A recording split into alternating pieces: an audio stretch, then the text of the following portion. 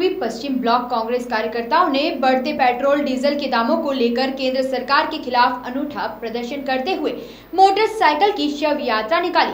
शव यात्रा station court के सामने से शुरू होकर रेलवे स्टेशन होते हुए सूचना केंद्र पहुँची, जहाँ पर कार्यकर्ताओं द्वारा जोरदार नारेबाजी के साथ हिंदू विधि विधान से कार्यकर्ताओं ने अपना मुंडन करवाकर मोटरसाइकिल का दाह संस्कार किया गया। कांग्रेस के पूर्व ब्लॉक अध्यक्ष धर्मेंद्र शर्मा ने कहा कि वर्तमान में बढ़ती महँगाई को देखते हुए जनता त्रस्त है। केंद्र सरकार द्वारा पेट्रोल डीजल गैस की कीमतों को बढ़ा दिया गया है, ऐसे में जनता कहाँ जाएगी? इसलिए आज हमने शव यात्रा निकालकर प्रधानमंत्री नरेंद्र मोदी और उनकी केंद्र सरकार के खिलाफ विरोध प्रदर्शन किया है।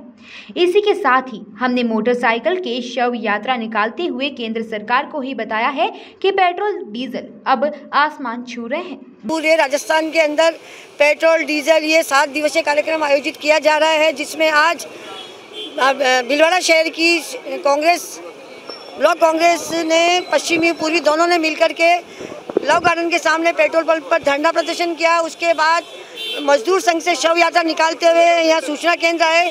सूचना केंद्र आकर के एक शव यात्रा के रूप में पूरी वही क्रियाएँ की गई जो आज मनुष्य के साथ होती है। क्योंकि आदमी क्रस्त है, मोदी सरकार मस्त है तो यहाँ आकर के हमने पूरा इसका पूरी घटनाक्रम पूर्ण करके आज इसका दहन किया गया।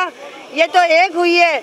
ऐसे अनेकों होगी, क्योंकि घर घर में रहकर पेट्रोल, डीजल के भाव इतने महँगे हो गए हैं कि लोग खरीदने में बिल्कुल मजबूर है। क्योंकि अभी कोरोना काल का समय गया है। कोरोना काल में लोगों की स्थितियाँ बड़ी दयनीय हो गई है। बहुत से जनों की नौकरियाँ चली गई है।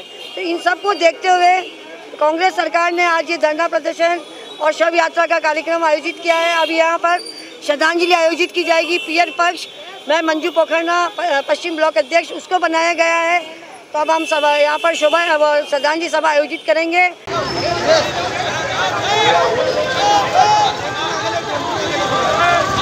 में वर्तमान में जो महँगाई के हालात हैं, डीजल, पेट्रोल, रसोई गैस की जो कीमतें आसमान को छू रही है, उससे देश की आम जनता बिल्कुल त्रस्त है। इसी संदर्भ में प्रदेश कांग्रेस कमेटी के निर्देश पर आज शहर कांग्रेस के पूरी ब्लॉक, पश्चिम ब्लॉक ने हमने यहाँ एक कार्यक्रम रखा है, जिसमें हमने संकेतात्मक रूप से एक वाहन का अपनी जीवन लीला समाप्त करना और उसकी शव यात्रा, शव का अंतिम संस्कार सारे करने का ये कार्यक्रम रखा है। इसका उद्देश्य हम केंद्र सरकार को यह मैसेज देना चाहते हैं कि अब आम आदमी का वाहन टू व्हीलर फोर व्हीलर जो तेल की बढ़ती कीमतों के कारण चल नहीं पा रहे हैं, वह घर में पड़े पड़े दम तोड़ रहे हैं।